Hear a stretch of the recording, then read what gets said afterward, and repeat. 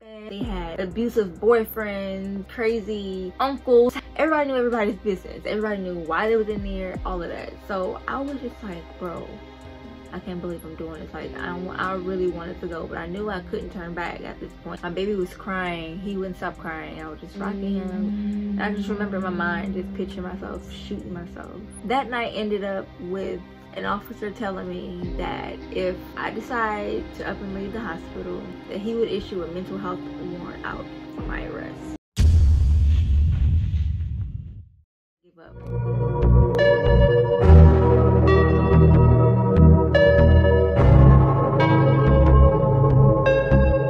Hey everybody, thank you so much for watching Miss Angelique TV where we talk about everything and when I mean everything, I mean like story time. story time, story time, of course, of course. As you can see by the title, um, this story time is going to be about the time that I unfortunately had to place a restraining order on my mom. If you haven't done so already, go ahead and hit the subscribe button down below because after this video, y'all, this next video after that is going to be like probably one of my hardest videos and I, I feel like I'll be saying this in damn near all my videos up my hardest video my hardest video but no like dead ass this moment honestly was the hardest moment I've ever dealt with in my 25 years of living. Last video was titled my mom was prostituting um or I caught my mom prostituting can't remember. I was reconciling with my mom and that got canceled whenever she had another episode. Um, and whenever I say episode, I mean that's when she was lashing out again, saying crazy things to family members, and I didn't like that. Like I understand it wasn't directed towards me um, at that time, but I didn't like that because I feel like as a family, we all care about my mom and we all want, want to help her. She can't expect me to just be the only one helping her out here. Like she has to be, like we all got to do this. And you, we can't all do this if you are on good terms with me. Just because you don't have nobody or just because I'm the only child that you've had, you want to make sure that we're good, but not everybody else. Like I didn't like that. So um, after I sent her that last message, that long message that y'all saw in the last video, uh, she decided to threaten me. and so I'm not going to go back to the text messages right now because I don't feel like digging through my phone. I'll do that once I begin editing my video. Um, but I'll just go ahead and post the text that I am referring to.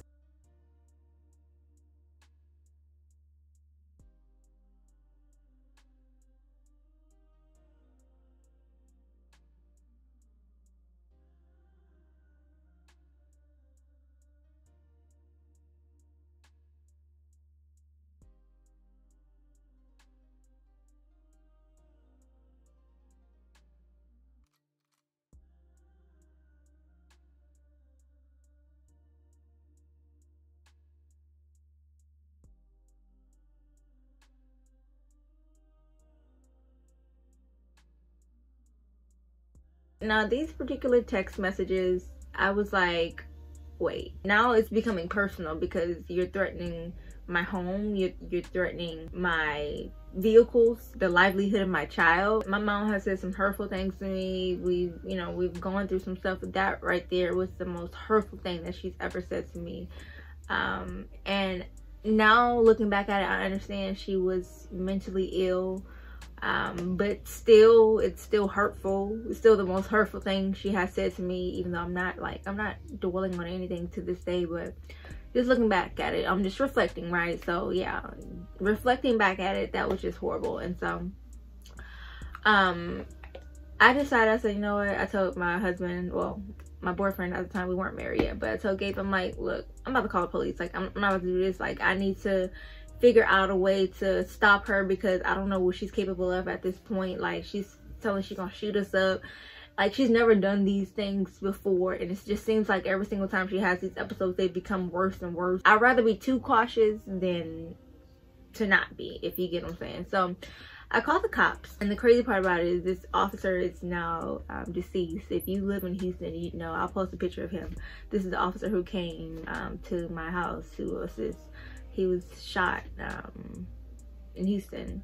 Um, it was last year and it was like a, a big thing. So if y'all from Houston or live in Houston, y'all know, y'all probably know who this is, but that's the officer. He took the report and stuff like that and told us the same thing, like because we were trying to look into some like mental health warrants but we weren't able to do that for whatever reason i forgot what the stipulations were but it was just too much or un or impossible one of the two i can't remember but we couldn't do it but he did recommend a restraining order for my safety and for my children's safety um because he did know i was pregnant and i've been going through this back and forth with my mom and i've also we've had a physical altercation before. And so i would have hated for something like that to have happened at that time if not worse. So he recommended me to a restraining order. If y'all have been following these story times y'all know in the beginning uh, whenever my mom and i fought i went to the um, downtown the building where you get restraining orders. I don't know what the name of the building is but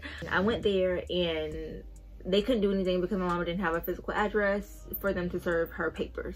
So whenever he told me that i'm like okay i'm gonna just go i'm gonna just at least try to do it i know they're not gonna really be able to do anything because i don't have a physical address on her but i do know that she eventually is to be arrested at some point and you know it is what it is. I'm just gonna have to take that that chance and just hope that this would go through the way that I'm hoping it will. This was probably like a, a, week before I gave birth. I was so stressed, y'all, so stressed. I didn't file the restraining order right away because I was so close to my, my due date.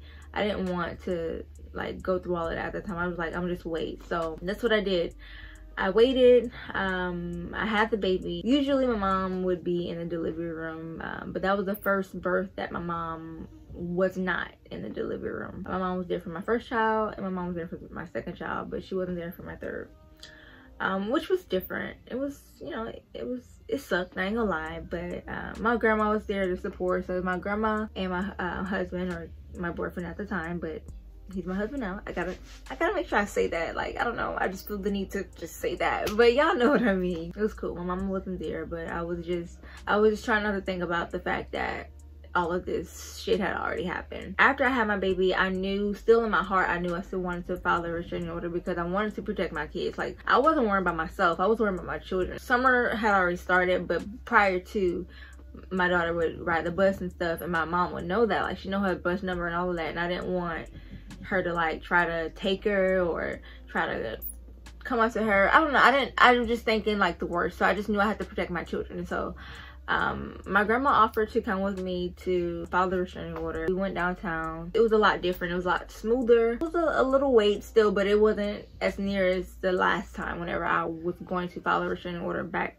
way back in 2016. I went in the little office where they ask you questions like why you want to file and all of this type of stuff. I didn't give them every single detail from top to bottom, but I just gave them the important ones like such as like the fight that we had um, and just different situation that would kind of show them her behavior and how, you know, how it can be difficult to deal with. As I was explaining to them the situation, I really like, I just felt so empty and inside because I'm just thinking to myself like, I'm really about to fucking file a restraining order on my mom, dude. Like, not a boyfriend, not a crazy boyfriend, not Ghost. You know, because Ghost was a crazy motherfucker. You would have thought I would have had to do that with him. But I had to do that with my mom, like my whole mama. Like, I came out of her vagina. Shit is crazy still to this day.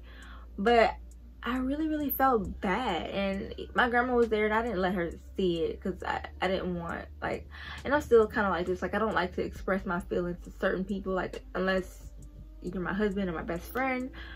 Um, but I, I typically hold those emotions in. I did not want to do that, but I felt like I had to. That's all I was worried about was protecting my kids protecting my family. That's it.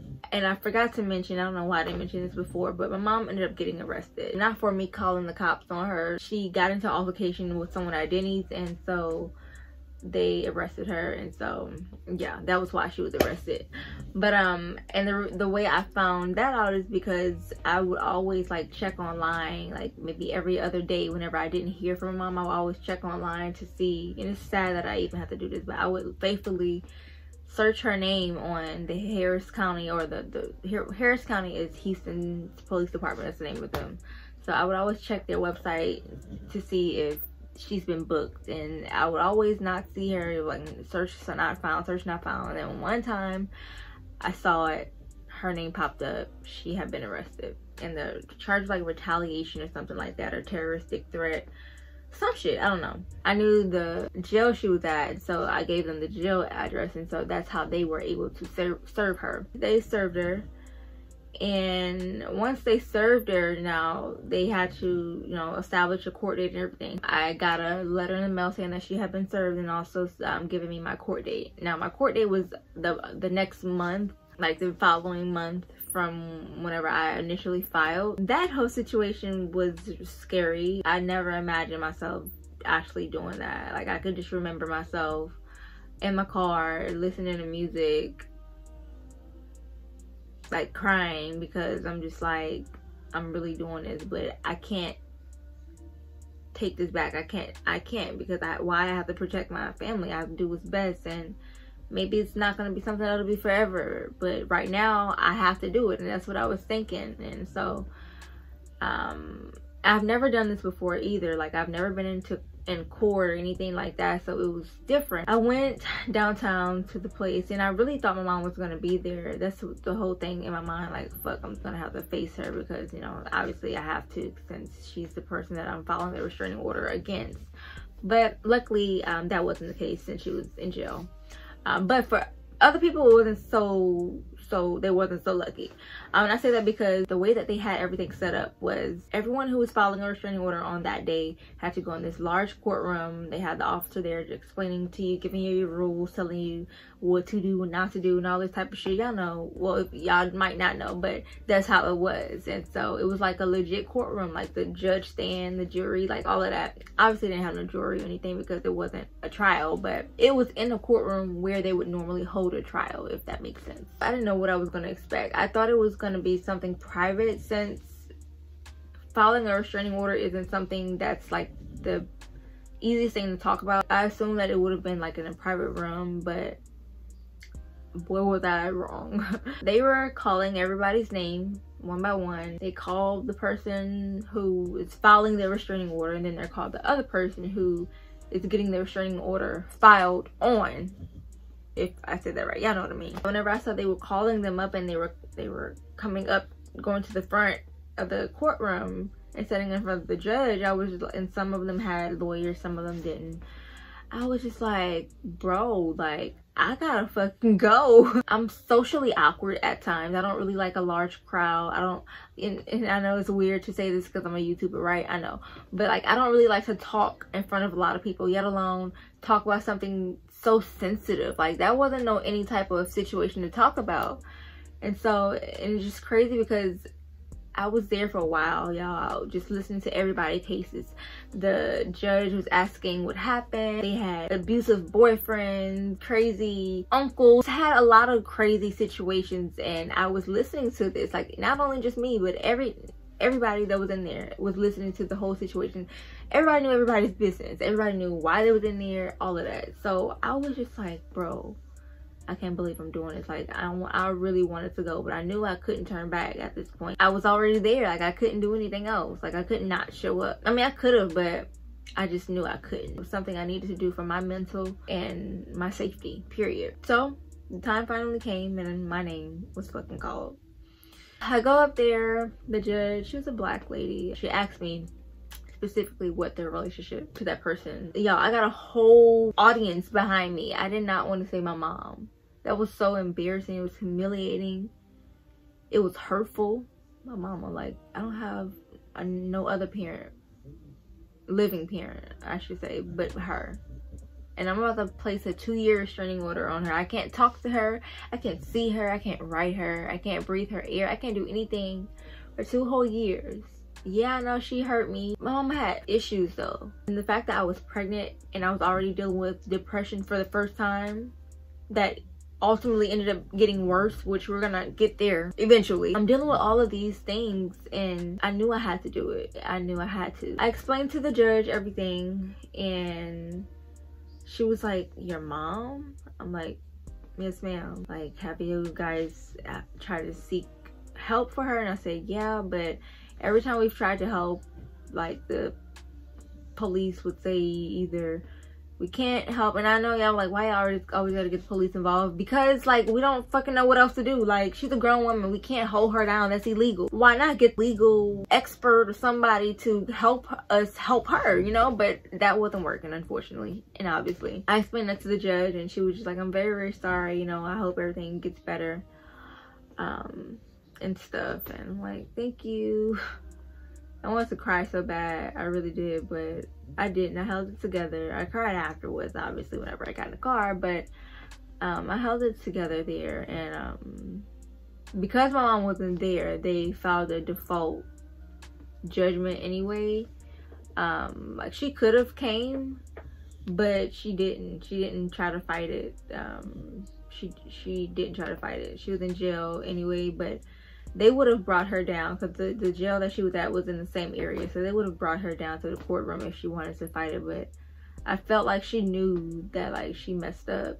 I was really really hurt that day. Keep in mind i just had a baby. I'm battling with these postpartum emotions and family shit and all of this was just a lot and i just noticed like I stopped eating, y'all. I did not want to eat. I barely slept, but I was always tired. But I was always up. Like my mind was just like wandering, wandering. I would, I would do a lot of crying. And I was also breastfeeding my son exclusively at that time. And that was another hard thing because he would not, y'all, he would not take a bottle and so he needed me so much i couldn't detach myself from him because i knew he needed to eat i could feel myself going into this deep, deep depression that I've never, ever, ever felt myself going to ever in my life. Y'all know, like I've been through breakups where I thought I've been depressed, but and I've said like, oh yeah, I was so depressed after that breakup. Y'all, I that that was nothing compared to what I experienced. Like that was what I experienced right in the moment that I'm speaking of right now that was real depression. I went to my OB about, I was really close with my gynecologist. Um, she hadn't been on me since I was 16. She delivered my first baby at the age of 16. So uh, I was really comfortable with her. And I had already been on medication prior to in my third trimester um, for depression but i thought it had went away. I don't know why i thought it went away but i just stopped taking the medicine and i was okay. Up until three months later I started to get really really overwhelmed. Found myself on edge all the time with everybody snappy with my kids snappy with my husband. You know i worked in customer service too y'all. That definitely didn't make it any better. I hated myself at that time because i hated feeling like that and i didn't understand why I felt like that. I can remember not wanting to be bothered with my baby. I can remember him just crying and I'm just like, I just wish he stopped crying. I just wish he stopped crying. I used to cry with him because I felt like I couldn't do anything. Like sometimes my milk wouldn't come out. If you've breastfed before, you know like all that feeds off of environment. Whenever I say that, I mean like I notice whenever I'm like mad or upset, my milk would take so long to express versus when I'm calm, when I'm chill and relaxed, it would come out like within a couple of seconds. My milk supply becoming low because I'm not feeding as often as I should. I'm trying to supplement with bottles that he's barely even taken. Like he'll drink some of it and then start crying because he doesn't want to, he didn't want a bottle. He was a titty baby, like literally a titty baby. Santiago, I breastfed him for 19 months straight. I had no problems, no issues, no nothing. So I thought that it was okay, all good for me to do it this time too. But nope, nope, nope. I was wrong once again. I made an appointment with my doctor and explained to her how I felt. Um, she asked me the normal questions like if I felt like harming myself, anything like that. Um, I told her no, and I don't know if it was a lie or I don't. I don't know, and I said I don't know if it's a lie or not because I don't know if what I'm gonna say right now is considered uh, suicidal thoughts or not. But and I'm pretty sure it is. But I can remember vividly. My baby was crying. He wouldn't stop crying. I was just rocking him, you know, trying to hold him, trying to help him, soothe him, whatever, something I just remember in my mind just picturing myself shooting myself like in the head with a gun. I don't know. I don't know why. To this day, I can picture that in my mind. I can put myself in that same place just for a split second and I can imagine exactly what I was imagining at that time and I was imagining just shooting myself. I just, I don't know. I just felt so overwhelmed. I just felt so, I just hated everything. I didn't, I just hated everything, hated life. Don't get me wrong, I didn't completely neglect him, but it was more so of I'm gonna feed you, I'm gonna change you, and I'm done with you. Like I don't want to deal with you no more. Like I know I gotta feed you, I know I gotta change you, but after that, like I'm not. I don't want to do anything. I don't want to hold you. I don't want to play with you. I don't want to sing you songs. I don't do anything. I just want to do what I need to do and get rid of you. And whenever I mean get rid of you, I mean like pass the baby on to his dad. And so I explained all this to my doctor. And so she asked me questions and she was like, seems as though you're going through some type of postpartum depression. Well, I don't think she said some type of, but she said postpartum depression for sure. I've never dealt with that before. So she explained to me that it's normal um, to happen to women and that you know, everything would be okay. But she told me she wanted me to, she was a little bit concerned because at that time I, I weighed, at that appointment, I weighed 92 or 93 pounds. One of the two. It was definitely, it wasn't over 95 for sure. But um, it was in the early 90s. And I remember her saying, I want you to go get checked up and, and make sure there aren't any underlying conditions or anything that could be causing you to not want to eat or anything like mm-hmm. that. I think it was a setup, and I'll tell y'all why it was a setup after a while, or y'all figure out why I feel like it was a setup. Mm-hmm. But she was telling me that she's like, I want you to go get checked out, but I want you to go get checked out at this specific hospital. It wasn't a regular hospital like that you go to if, you know, you in pain or you sick or something. It was a mental hospital, which I've never, ever, ever heard of that mental hospital. And it's crazy that I've never heard of it before because I used to live right around the corner. Like whenever I was 18, I used to live in a particular area. It was in the ghetto, by the way. Uh, but it was, I used to live around there and it was the hospital that I'm talking about was right around the corner. Far as fuck from my house, by the way, but far, it was far as fuck from the house that I was currently living in. Um, but she said that's where she wanted me to go. And she was like, you could just go, go there you know, you'll be home later on, you know, within a couple of hours, but I just want to know that you are okay and um, maybe they can help you a little bit more than I can because I'm I'm your I'm only your OB and I can only do so much. You know, uh, she was only able to prescribe one depression medication and that was it. Everything anything else above that, if anybody needed further help, in that field or in that area, she would have to refer you elsewhere. And so that's why she referred me to the hospital. I was all over the place. I was crying and everything. And at this time, I became close with the nurses and the assistants and stuff. And so they were in there and talking to me and telling me their experiences and how they went through before and this and that. And so my doctor was concerned. She wanted to make sure that I got home safely. So she it was at the end of the day anyway they were already about to clock out she was like can you wait a little while um a couple of minutes while we you know, close up everything um, because I would like for them to ride with you home so that I can make sure you make it there safe. And I'm like, okay, cool. So I texted Gabe and told him, I'm like, yeah, she wants me to go into this hospital tonight um, for a couple hours just for an evaluation. I'll be home. Um, one of the nurses are going to ride with me. So um, it was two nurses. One of the nurse rode with me in my car because I obviously had to drive myself there. But then the other nurse followed me to my house. That way she, the other girl could hop in the car with her once I made it home. So I made it home um, and it was like, promise us you're gonna go, just go there, get evaluated, just make sure everything is okay. Like everything's gonna be okay, I promise, don't be afraid. Cause I was a little afraid cause I didn't know what to expect, but I honestly just thought it was just like a, like a clinic or something. Like even though she said it was a hospital, but I'm just picturing in my mind like a small little thing for like mental patients who need medicine or assistance or something. I don't know. I was just stupid. I was so stupid. I should have did my research on this place before I went because I promise you if I would have done my research, I would have went. I wouldn't have. I wouldn't have.